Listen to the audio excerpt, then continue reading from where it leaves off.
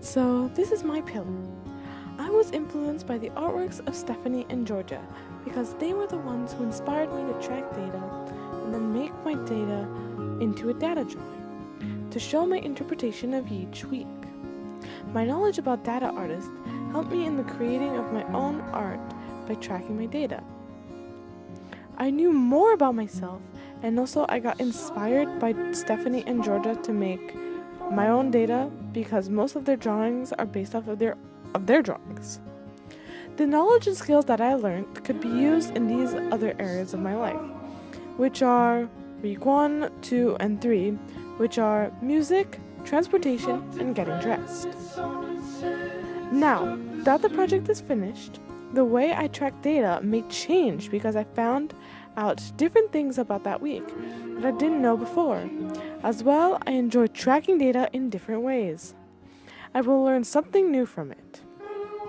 I demonstrated using tech, technical innovation in the process of my data art by using Google Docs to keep track of my data so then I wouldn't lose it.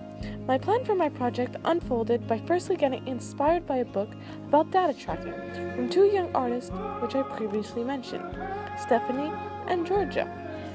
They inspired me to track my own data. I then took that information and put it into a table. After I found that I could make an inter- interpretation about the data, I tried to copy the data drawing onto a pillar. So it becomes a replica. The personal strategies that I've used during this project to become successful was to be organized because then I would be able to have a set goal, to have a step by step guideline, and then become more successful when it came to my drawing. One thing about this project that captured my attention was being able to physically paint out our data drawings. The viewer would be able to see what I am capable of doing with my data with my art media tracking skills.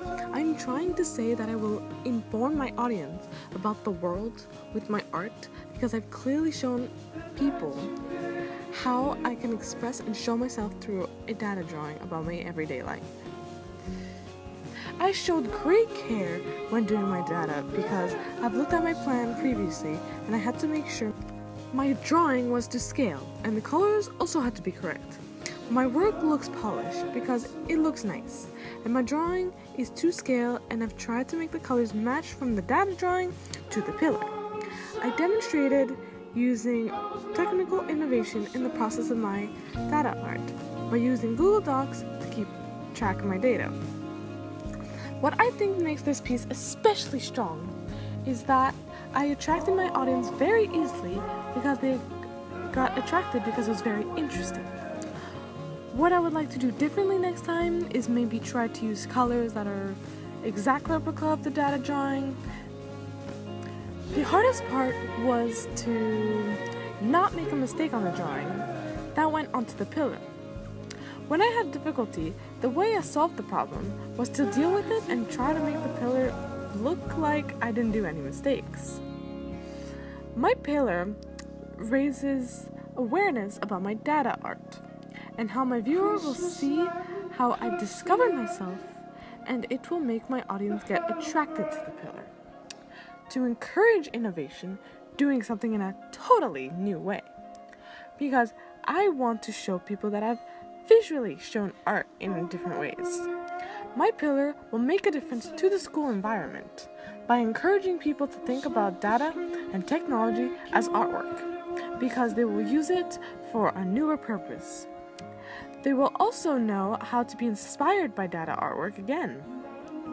In the process of reflection, I have learned more information about myself because of data. Data tracking had helped me to explore myself better, and therefore, I am more knowledgeable about myself.